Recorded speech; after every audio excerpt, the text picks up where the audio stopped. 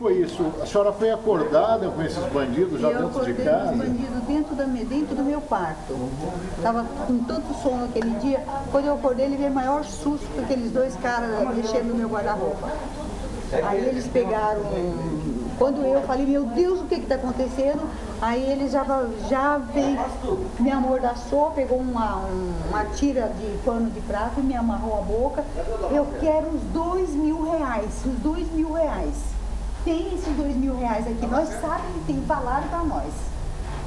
E foi se perguntando onde que estava o dinheiro, eu falava que não tinha, falava que tinha, que eu estava mentindo. E já pegou meus documentos, já pegou tudo. Aí depois para mim, me, eu falei, moço, não tenho esse dinheiro, tem. Aí eles falaram assim, eu falei para mim, me ver livre deles, eu falei, o dinheiro eu guardo com a minha mãe. E onde é o quarto da sua mãe? Eu falei, aquele quarto que vocês passaram por lá. Aí ele foi lá, catou a bolsinha da minha mãe também, pegou todo o dinheiro da aposentadoria dela, pegou toda a papelada dela, até receita de médico levou.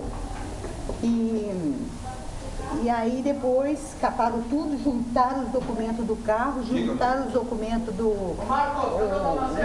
Documentos, puseram tudo dentro da bolsa, pôs a bolsa no ombro e falou, agora você vai com a gente. Eu falei, não posso ir, eu tenho que ficar com a minha mãe. Vai sim, sua mãe pode ficar bem sozinha aí. Aí já foram saindo, pegaram a chave lá na estante, que eu não sei como eles sabiam, já sabia qual é que é a chave da porta, abriu a porta, abriu o portão e entrou com a maior facilidade no carro. E já me queriam me pôr no porta-mala, eu falei, não vou no porta-mala. Aí me jogaram no banco de trás, fez eu deitar no banco de trás, pegou o tapete do. Eu tinha posto um pano assim para cobrir o chão do carro, pegou aquele pano e enrolar na minha cabeça. Mas no carro eu soltei, eu puxei o pano. E aí eu vi a cara do motorista. Ele tirou totalmente a touca. Daí E aí? mato. Hum, Aí me levaram na cidade. Me levaram na cidade para. E durante o. Ah, durante o percurso eles falavam no meu celular. Falava, tudo bem, cara, tudo bem, tudo bem. Só falava cara, cara. Aí depois me levaram na cidade, mas eu tinha a impressão que era cidade, porque dali eu via o poste. Aí eles pegaram lá na, numa casa lá, que não sei onde que era, pegou um, um montão de fio. Eu achava que era corda, mas depois que eu vi que era fio, aí abriram a porta do carro, jogou em cima de mim e voltou comigo para a mata. Aí lá eu falei, agora é o fim de tudo. Aí depois lá eles me amarraram, me amarraram e eu, eu tentei comer. Ele falou, você quer morrer mesmo?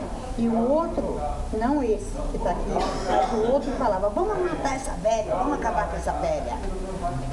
Que a senhora vê de repente numa cidade do interior, pacata, essa violência toda?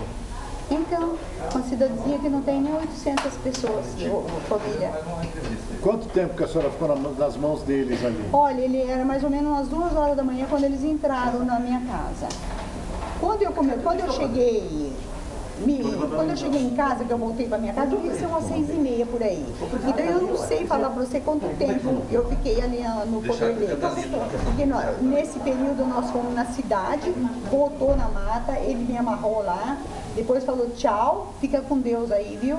E aí eu fiquei tentando me desamarrar, mais ou menos uma hora, mais ou menos, eu fiquei tentando me desamarrar.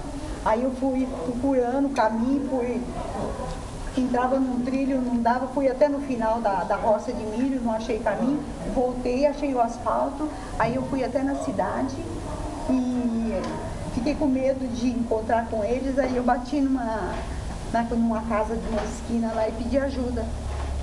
Ainda bem que a senhora ficou com Deus, né?